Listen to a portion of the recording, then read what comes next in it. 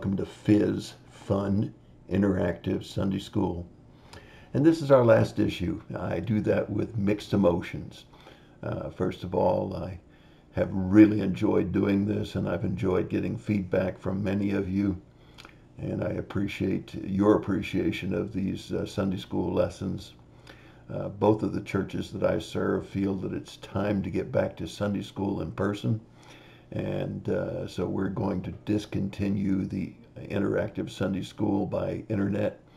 Uh, however, if you'd like to have my thought for the day, uh, which I do five days a week, uh, be sure to drop me a note and I'll make sure that you get added to my YouTube notifications for that thought for the day.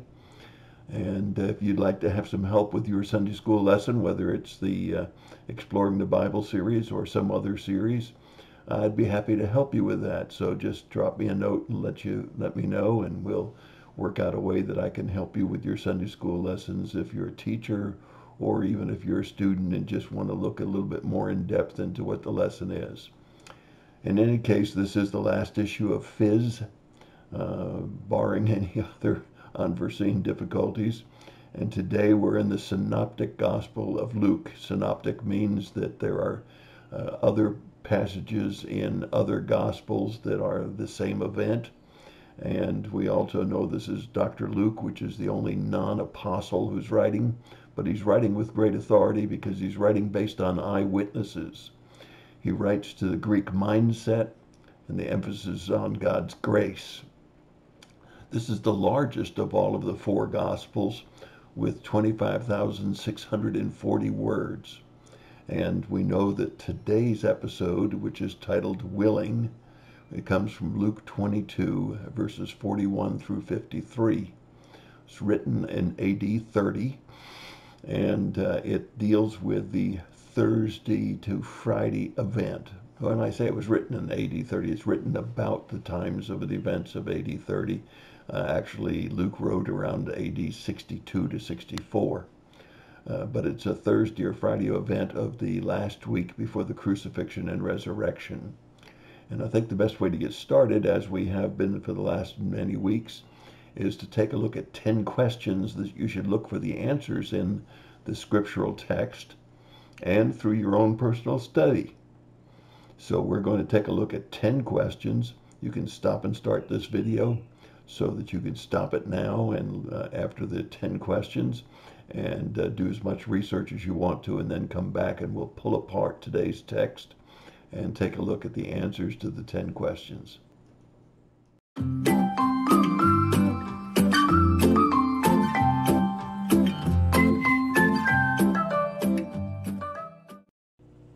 Well, here are your 10 questions for this coming Sunday's lesson, May the 2nd on Luke chapter 22, verses 41 through 53. In any case, here are your 10 questions for the lesson called Willing from Luke 22, verses 41 through 53. The first question is What are the parallel passages for this Luke 22, 41 through 53?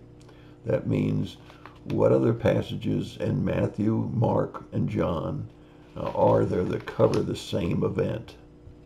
Question number two Where was Jesus for this event? Geographically, where was Jesus for this event? Question number three What are the advantages of personal versus corporate prayer? What are the advantages of personal, that's private, versus corporate, that's in a group praying out loud prayer.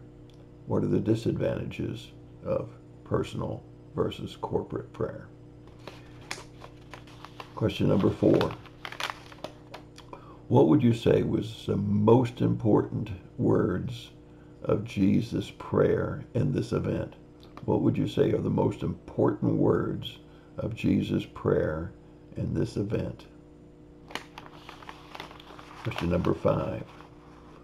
Why should verse 43 be a great encouragement to us? Why should verse 43 be a great encouragement to us? Question number six. What special additional information did you get from the parallel passages in Matthew, Mark, and John? What special added information did you get when you looked at the parallel passages? Question number seven. Verse 47 and 48 reveal a part of humanity of Christ. Verses 47 and 48 reveal a part of the humanity of Christ. What did it reveal about Christ's humanity? Question number 8. Verse 49 and 50 reveals a spiritual truth. What would you say it is? What would you say is the spiritual truth of verses 49 and 50? Question number 9. Verse 51 reveals two important attributes of God. Verse 51 reveals two important attributes of God. That's Jesus in the flesh. What are they? What are the attributes that are revealed to us in verse 51? Verse 53, the last question. Verse 53 teaches us what about darkness? What is the lesson that we learn about darkness in verse 53? For extra credit, what should we always remember and apply to our lives based on this event? What should we always remember and apply to our lives from this event? Well, those are your 10 questions. I hope that you'll have fun researching them. I hope that you'll have fun looking at the parallel passages and seeing the additional information that's available there in those parallel passages. And I hope you will drop me a note and let me know what uh, you'd like to see in the way of thought for the day or, or what you might like to have some help with on Sunday school lessons. And particularly if you want some help on Sunday school lessons, let me know what series you're studying.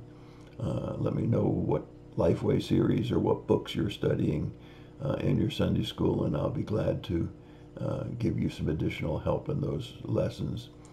But this is definitely one of those lessons that you need to read uh, before the uh, uh, material that you've been assigned and after. And it's very, very important that you look at the parallel passages of this particular text uh, you'll never get all that you need to get out of this lesson without doing that. So let me encourage you, if you've not already done that, to stop the video and uh, read your parallel passages, but also read some of the chapters leading into this section of Scripture and leading out of it so that you get a full context. Let's take a look at the uh, Scripture text that's been assigned for this lesson first. And he withdrew from them about a stone's throw, and he knelt down and began to pray, saying, Father, if you are willing, remove this cup from me, yet not my will, but yours be done. Now an angel from heaven appeared to him, strengthening him. And being in agony, he was praying very fervently and his sweat became like drops of blood falling down on the ground. When he rose from the prayer, he came to his disciples and found them sleeping from sorrow.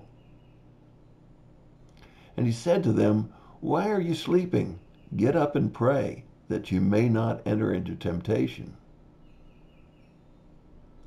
While he was still speaking, behold, a crowd came and the one called Judas, one of the twelve, was preceding them, and he approached Jesus to kiss him. But Jesus said to him, Judas, are you betraying the Son of Man with a kiss? When those who were around him saw what was going to happen, they said, Lord, shall we strike with the sword? And one of them struck the slave of the high priest and cut off his right ear. But Jesus answered and said, Stop, no more of this. And he touched his ear and healed him. Then Jesus said to the chief priests and the officers of the temple and the elders who had come against him, Have you come out with swords and clubs as you would against a robber?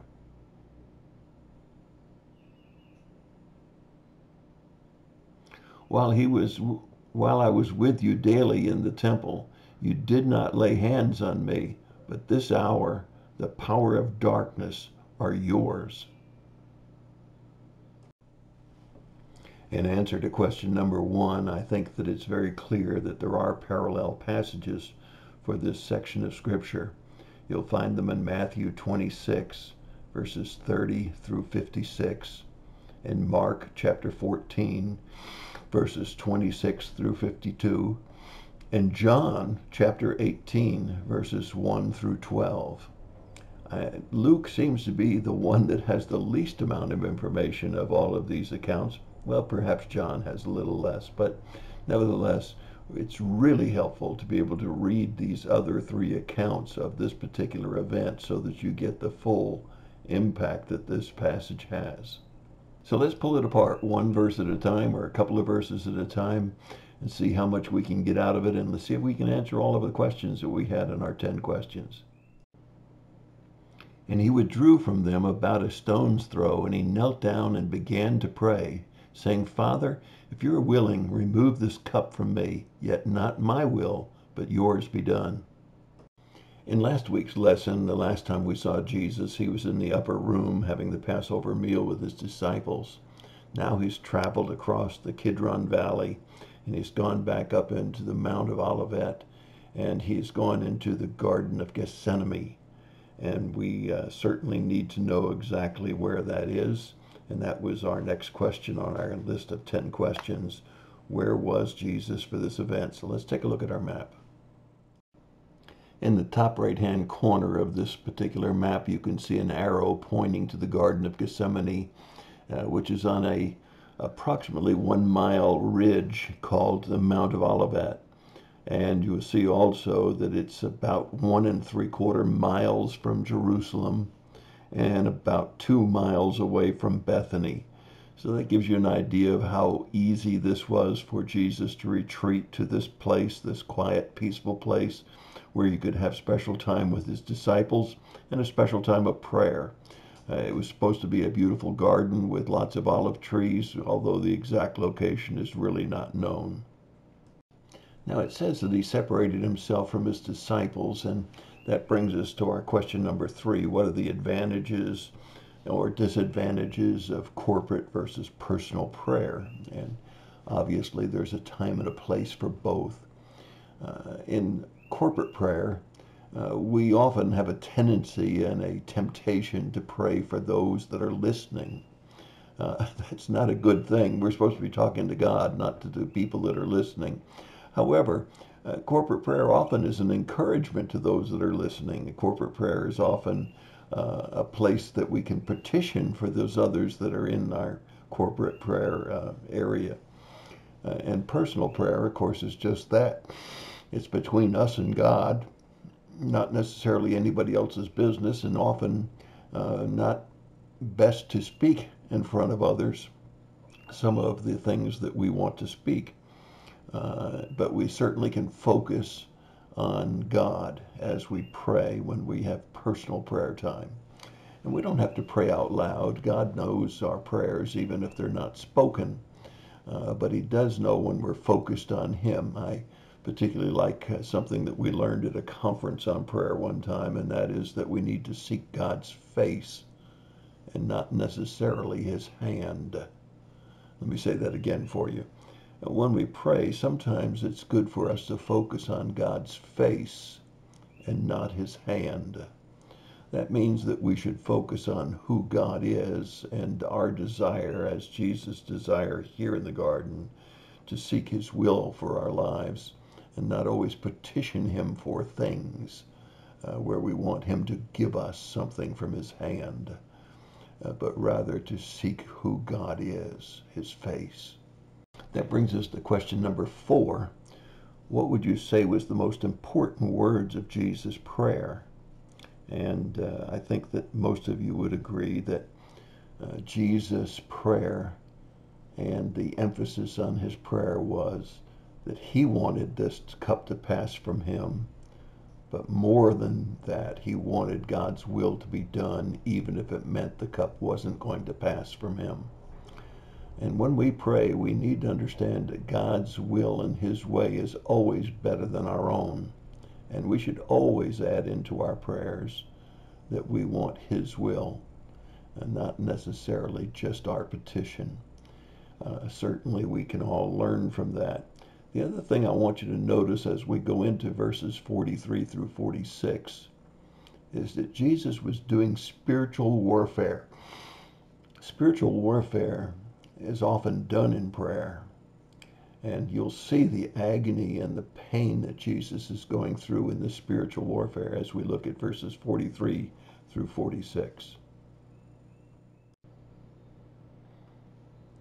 Now an angel from heaven appeared to him, strengthening him.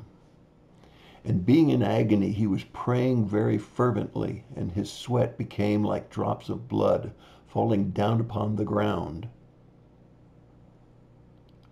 When he rose from the prayer, he came to his disciples, found them sleeping from sorrow, and said to them, Why are you sleeping? Get up and pray that you may not enter into temptation.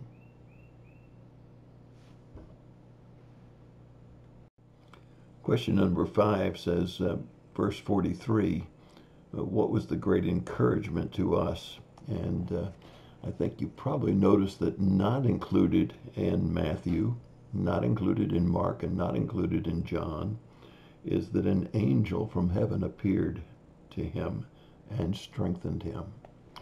Aren't you encouraged that God has his angels who not only watch over us, but who are there to strengthen and encourage us? How many times have you felt God's presence? Maybe you didn't see an angel like Jesus saw, but maybe you felt God's presence as you prayed and you knew that his angels were watching over you. It's a great encouragement to me, and I think it probably should be to you as well. I want you to also notice that the drops of sweat were not blood, as some have said, but they were large like drops of blood. And they certainly were large because of this spiritual warfare that was going on between what Jesus would like to have happened versus what he knew must happen and how he had to fulfill his Father's will. And then also, I want you to notice that here in Luke, we're missing the fact that he went back to his disciples three times. Uh, we have just one time listed here. And of course, he rebukes them for their sleep. But I think it's important for us to remember when we look at the other parallel passages, we probably won't be quite as hard on the disciples as we would be if we read only the Luke account. Their exhaustion was from the pressures and the times that had gone by and what they had been told by Jesus at that Passover meal. They were thinking about so many things betrayals, uh, the fact that he would cause them to recognize the real greatness doesn't come from uh, perhaps outward evidences of a man's life. And so many things to think about and to pray about. It's no wonder the disciples were exhausted from emotional strain and trying to figure out all of the things that were going on. But I want you to know he also reminds us that prayer is a wonderful way to keep from falling into temptation. Let's take a look at our next verses. While he was still speaking, behold, a crowd came, and the one called Judas, one of the twelve, was preceding them, and he approached Jesus to kiss him. But Jesus said to him, Judas, are you betraying the Son of Man with a kiss?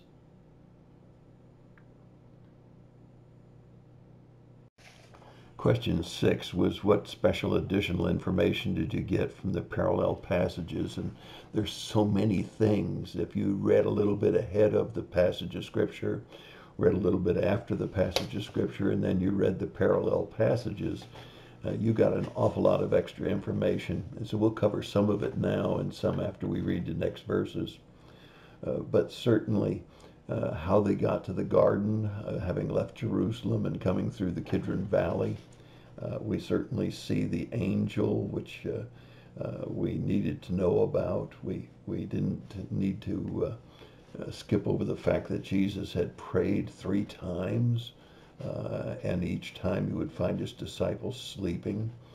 we wouldn't have found out about the fact that he left some of his disciples, probably eight of the disciples, further away from him and then took uh, his inner circle of Peter, James, and John uh, to within a stone's throw of where he was praying, and that he would come back to them uh, as well and find them sleeping. And uh, certainly the betrayal of Judas, which was coming with this throng of people, uh, was forecast before when they were having the Passover meal and when Jesus gave them a new covenant in his blood. Uh, we see so many things uh, by reading these parallel passages and by being sure that we read the full context. The things that happened before this and the things that happened after this give us so much more insight into this passage of Scripture. Certainly, as we see Judas coming, we see the question number seven uh, what reveals the humanity of Christ, and that's this betrayal. Ever been betrayed? It's a terrible feeling. Uh, Matt, maybe you were betrayed at work. Maybe you were betrayed by a mate. Maybe you were betrayed by a child. Uh, whenever you're betrayed, it's a terrible thing and you can see the humanity of Christ, and you can almost feel his pain as one of the twelve that he had poured his life into for 30 pieces of silver had betrayed him. And he was going to do it even a worse way in that he was going to betray him with a kiss, which was typically a ceremonial kiss that's not a kiss of passion. This is a ceremonial kiss of greeting, a warm friendship. Uh, which was practiced in those days, to have this warm friendship fake kiss given so that those that were following Judas would know which one Jesus was in the dark of the garden and the confusion of the twelve being all present, betrayed by a kiss. The humanity of God, because He understands our emotions, not just our actions, but also our feelings, our emotions, our motives, all of those things he understands. And it's revealed to us here once again when we see Jesus saying to Judas, Do you betray me with a kiss? Let's take a look at our next verses. When those who were around him saw what was going to happen, they said, Lord, shall we strike with the sword? and one of them struck the slave of the high priest and cut off his right ear. Without the other gospel accounts, we wouldn't have known about the warnings to Peter about how he was going to deny Christ three times. We wouldn't have known who it was that said, Should we fight with the sword? We wouldn't have known that it was Malchus, uh, the uh, slave of the high priest. We wouldn't have known all of the details of uh, Jesus uh, touching Malchus's ear. Uh, there's so many things that we learn by reading these other gospel accounts, and uh, certainly we would have missed the size of the crowd and the fact that they were not only Jewish leaders and the guards from the Jewish court, but they were also Romans that were coming, and they were coming with clubs and swords and with lanterns and all kinds of uh, uh, weaponry that they could use against Jesus and his disciples. Uh, but have you ever had a time when you were reading scripture and God spoke to you? I mean, really specifically spoke to you. And he spoke to you in a lesson that you'd never heard preached, never heard taught, and never had encountered before in any kind of material and it was like a brand new revelation to you. And you said to yourself, wow, that's neat. Well, it's this section of scripture that that happened to me. And I've probably preached it now for some 40 years. So you may have heard it. You may have heard it from me. You may have heard it from other preachers. You may have read it in a book. And God says there's nothing new under the sun. It probably was out there before I saw it, but I saw it here. And I only saw it here because I had read the parallel passages. So let's take a look with these next couple of verses at a spiritual lesson that God showed me that I had never seen except by his revelation to me. And let's see if it's new to you as well. If not, that's fine. I'm glad that you were revealed uh, this truth from some other source. Uh, but I want you to understand first-hand revelations are so much more exciting than second-hand revelations. And I hope someday God speaks to you where you've never heard it before, you've never read it before, but God reveals it just to you. Let's take a look at the next couple of verses and then I'll try to bring that whole point through. But Jesus answered and said, Stop, no more of this. And he touched his ear and healed him. Okay, here it is. I studied these passages of Scripture years ago, and I dug back and forth between the different gospel accounts of this event. And I recognized that somebody had said, Should we fight? And after examining all of the accounts of this event, I found out that Jesus never answered the question. Oh, he stopped them after it was over uh, but he never answered the question. Uh, then I looked back and forth and I saw that it was Peter. Remember, uh, they had been asked prior to this, do they have any swords? Now there were 11 of them still left. And they found two swords, and Jesus said, that's enough. That may have planted the idea in their, eye, their eyes that uh, perhaps they were going to have to fight at some time, but only two swords for 11 disciples. Nevertheless, I, I looked at the fact that it was Peter who probably asked the question. It was Peter that had the sword, obviously one of the two swords. It was Peter that didn't wait for an answer from Jesus. It was Peter that swung at Malchus's head to try to cut it off. It was Malchus that probably tipped his head to the side to try to avoid the sword. And when he did, it made Peter's sword slide over the side of Malchus's head and take off his ear. Now, a bloody ear, uh, taken off probably right even with the head. Malchus probably screaming in pain. Jesus not only rebukes Peter and the disciples for wanting to fight, but Jesus reaches over with his hand and he touches Malchus's ear and heals it completely. No more fighting. This needs to be. You didn't wait for my answer to whether or not we should fight. And I sat back in my chair and I said, Pete Vandeweghe, how many times have you asked God a question and not waited for an answer? And as a result of not waiting for an answer, you charged ahead of God and you did something that you hadn't waited for an answer. And as a result of charging ahead of God, you made a mess of things.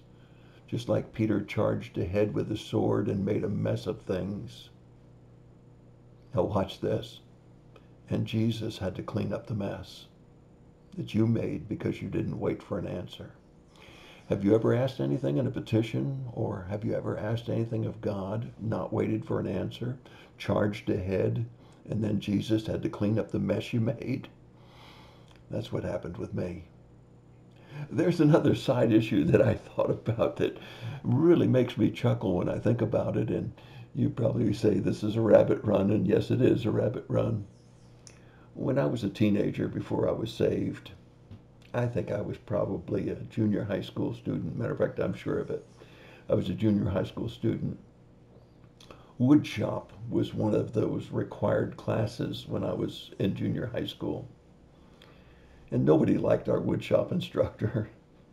Uh, there wasn't a very big budget for our, our wood shop, and uh, he would make us sand a piece of wood until it was probably half the thickness of when we first cut out the piece of wood. Uh, that's an exaggeration, of course. But nobody liked him because we knew that he was a perfectionist and we didn't have a lot of pieces of wood and we didn't get projects finished very fast because we'd take it up to him and he'd say, sand it some more. Don't put the varnish on it yet. It's not ready for varnish yet. Well, nobody cared for this fellow and we called him Uncle Benny. And he would always come to woodshop every day in his white lab coat, bright white it went from his collar, it had a nice collar on it, buttons down the front, and it went all the way to his knees.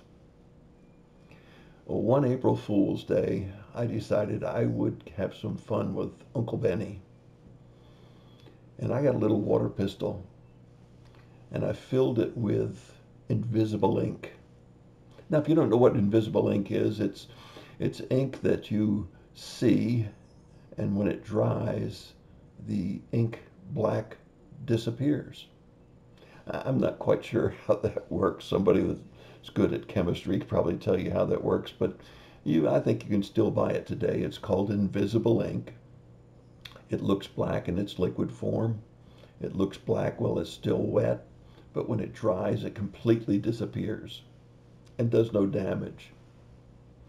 Well, I filled my little water pistol with invisible ink and an April Fool's, having told all of the other guys in the shop uh, that I was going to take and spray Uncle Benny's beautiful white smock, his lab coat, with invisible ink. And so everybody waited patiently while I went up to Uncle Benny, pulled out of my pocket my pistol filled with invisible ink, and sprayed it all over the front of his beautiful white lab coat. He looked down in horror at his beautiful white lab coat covered with black ink, grabbed me by the shoulder and marched me to the principal's office, which was up a floor of stairs and down a hallway. And he marched me into the principal's office and he said, This young man did this to my coat. And he looked down and all of the ink was gone. you can imagine his embarrassment when he looked at his lab coat, thinking he was showing the principal all of the ink that I had sprayed all over his coat, and there was nothing there to show the principal. Well, it's funny now, but it wasn't funny then. but you can imagine, as I reflected on this story of Peter, taking and asking, should we fight? cutting off the ear of Malchus, Jesus healing it back perfectly, how the Roman soldiers and how the guards from the uh, Jewish folks uh, synagogue couldn't take Malchus back and say, look what Peter did. We need to crucify him as well. Because when they went back with Jesus, Malchus's ear was perfect. God could heal it perfectly, and he did. He cleaned up Peter's mess, and there was no evidence and no way that they could blame Peter for having done anything in a way of a battle of cutting off Malchus's ear. Let's take a look at our next verse. Then Jesus said to the chief priests and the officers of the temple and the elders who came against him, have you come out with swords and clubs as you would against a robber?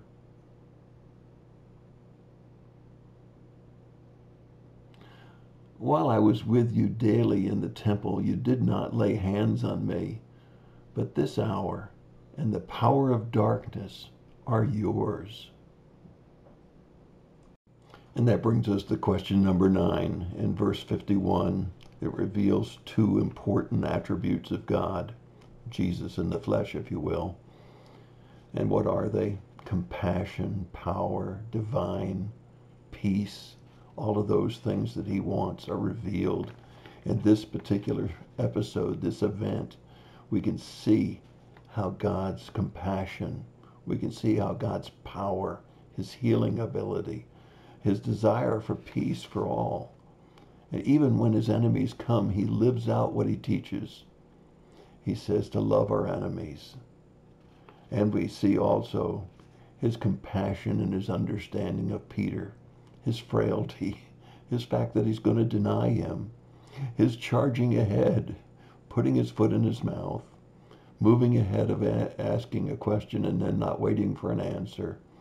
Oh, we see so much about God's attributes here in verse 51 and through this particular event. And question number 10 in verse 53 teaches us what's about darkness. Well, darkness is a place for evil to occur. There's nothing evil about darkness per se, but we certainly know that God contrasts his light and lighten the world with darkness.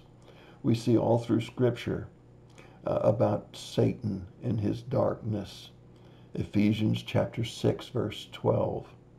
Colossians 1:13 talks about how Satan is represented in darkness and how he works in darkness. And we know that many times when we're tempted and we do evil, uh, we do it in darkness. Uh, we do it because we think nobody can see, but God sees, even in darkness. And so he says to them, You did this in the power of darkness. I want you to also notice that we don't have it in Luke, but we do have it in the other gospel accounts. God recognizes that the spirit often is willing, but the flesh is awfully weak. That's encouraging to me. When I fail him, when I fail to do something he asked me to do, or fail to have done something that I know I shouldn't, it's good for me to know that he understands that the spirit's willing, but the flesh is also often very weak. Then finally, I asked you for extra credit. What are the ways that you can apply this to your life? And I hope you saw a lot of ways to apply this event to your life. You see, Bible study is not just for head knowledge. You might be able to go into a game show and answer all kinds of trivia questions. Who was the person whose ear was cut off? And you may feel really proud that you could say, I know it was Malchus. But I want you to know that it's application that God wants. To betrayal, the pain of it, the asking without waiting for an answer, the making a mess by charging ahead of God uh, the testing of our faith as these disciples had their faith tested, the power of God, the presence of his angels, the compassion of God, and the study of the scriptures for personal truths. Sometimes a revelation you got from no other way except God speaking to you. You didn't hear it. You didn't read it. But there it was, a truth just for you. Isn't God good? All the time, He's good. And I hope that you've enjoyed this last of the FISS classes. And I hope that we'll be able to study the God's Word together in person. And I hope that you'll write me a note. Let me know if there's anything else I can do for you or anything else you'd like me to study uh, and present to you through my thought for the days. God bless you. And I hope that you're able to go back to worship in person. And I hope you'll stay safe. God bless.